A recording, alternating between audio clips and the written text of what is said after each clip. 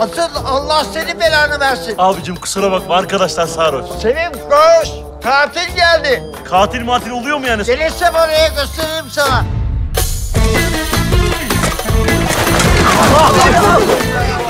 Berhudar sen misin? Evet.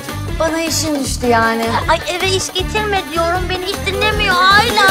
Oo kasadaydım. Gel, gel. Ya benim belim senin belinden daha ince. Odun gibi kıvırıyorsun, para takmıyorlar. Buralara takılanlar benim komisyonum. Şöyle birazcık hızlı olacaksın. Ya dün akşam üstünden para üstü alan müşteri gördüm ya. Bana şu 100 bin lirayı verebilirseniz tertemiz bir sayfa açacağım hayatımda. Anlıyorum ama bu şartlar altında kusura bakmayın yapamam. 50 bin verin söz veriyorum ödeyeceğim. Yapamam beyefendi. 30 ver. Veremem. 10 ver. Bağırmayın. Ya 5 ver. Lütfen dışarı çıkın.